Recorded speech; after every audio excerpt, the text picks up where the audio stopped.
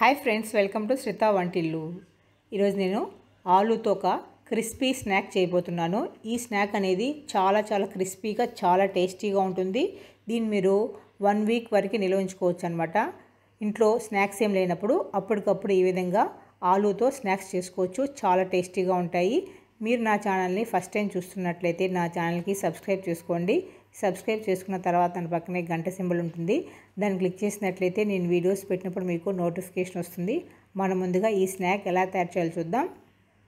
ఈ స్నాక్కి నేను ఆలుని తీసుకున్నాను. మూడు ఆలువలు తీసుకున్నాను. తొక్కు తీసేసుకొని ఈ విధంగా తురుముకోవాలి. ఒకే డైరెక్షన్లో తురుముకోవాలి. ఈ విధంగా తురుముకోవడం వల్ల మనకి ఇవి కొంచెం పొడవుగా వస్తాయన్నమాట. వీటిని వాటర్లో తురుముకోవాలి.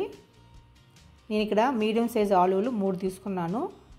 వీటిని ఇట్లా వాటర్లో ఒకే డైరెక్షన్లో తురుముకున్న తర్వాత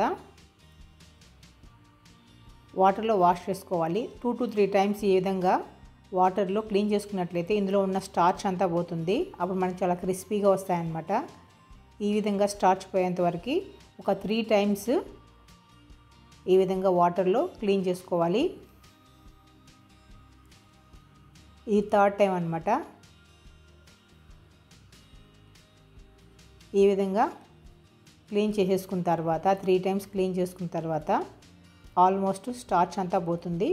అప్పుడు వాటర్ని పిండేసుకొని సపరేట్ బౌల్లో తీసుకోవాలి.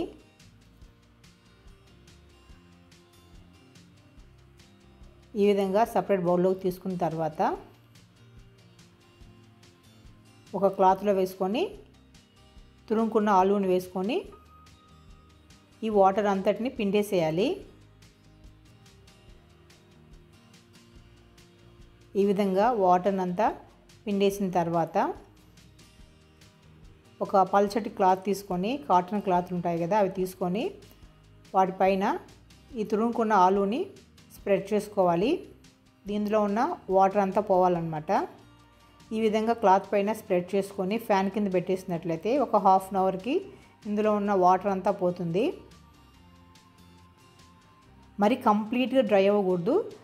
దీంట్లో ఉన్న తడి లేకుండా ఉంటే సరిపోతుంది అనమాట జస్ట్ ఒక థర్టీ మినిట్స్ ఫ్యాన్ కింద పెట్టేస్తే సరిపోతుంది. థర్టీ మినిట్స్ అయిన తర్వాత అంతటిని తీసుకోకూడదు. మీకు ఎంత కావాలో అంత తీసుకోండి. ఒక సపరేట్ ప్యాన్లో వేసుకోవాలి ప్లేట్లో వేసుకోవాలి. అంతా వేసుకోకుండా కొంచెం వేసుకోండి. తర్వాత అందులో తగినంత కార్న్ఫ్లవర్ వేసుకోవాలి. నేను ఒక ఫోర్ టేబుల్ స్పూన్స్ కార్న్ఫ్లవర్ వేస్తున్నాను. అందులో తగినంత సాల్ట్ వేసుకోవాలి.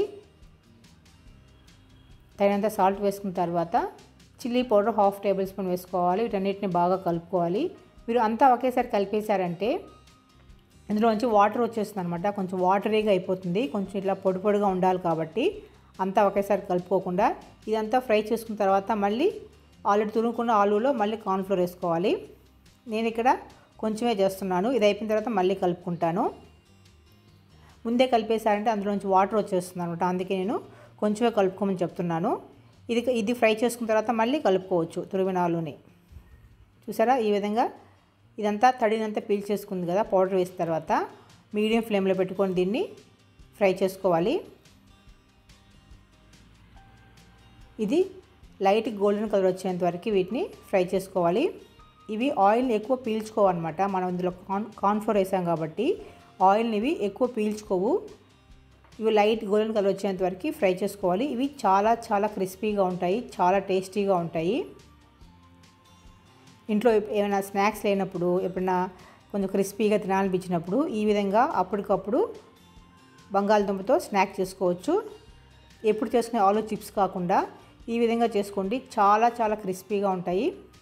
అదేవిధంగా అన్నిటినీ ఫ్రై చేసుకోవాలి.